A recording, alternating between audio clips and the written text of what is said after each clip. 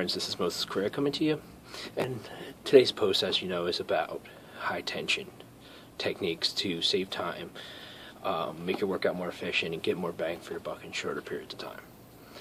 Um, there's a few different ways we can go about that. We can put grinds together, maybe do like a single leg deadlift and a press, or a row and a squat. Um, or we can go for conditioning if you're looking for conditioning uh, by doing swings or complexes, or mixing strength with our conditioning, um, which is probably the best idea to do. Now, if you remember, some of the principles I talked about were uh, tension and intent, and obviously kind of mixing up the different exercises to uh, get a better workout as a result. So I just want to give you a quick demonstration of what tension will look like, um, high tension in a workout.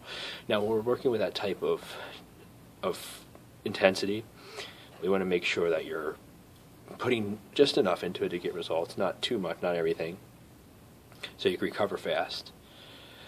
Um, and to match it with what it is you're trying to do. So if you're doing a pull-up ladder, your first one's not going to be oh out um, and putting everything you got into it. It's rather going to be pacing it. So you know the first one pull up, second one one two, and then let's say we're having trouble to do three, and then pulling up um, and doing a motion. So that's that's pacing attention. That's an important part of this.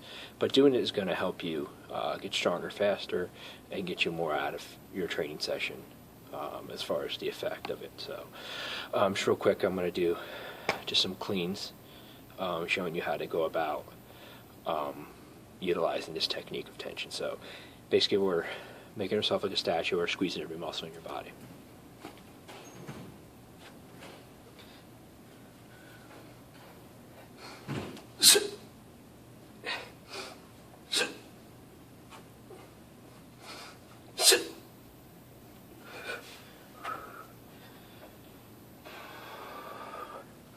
So what you want to think about when you're doing that is pressing your feet down into the floor, wedging in between the floor and the bells, pulling up your kneecaps or squeezing your quads, having your butt tight, squeezing your cheeks together, or some say eating your shorts with your butt cheeks.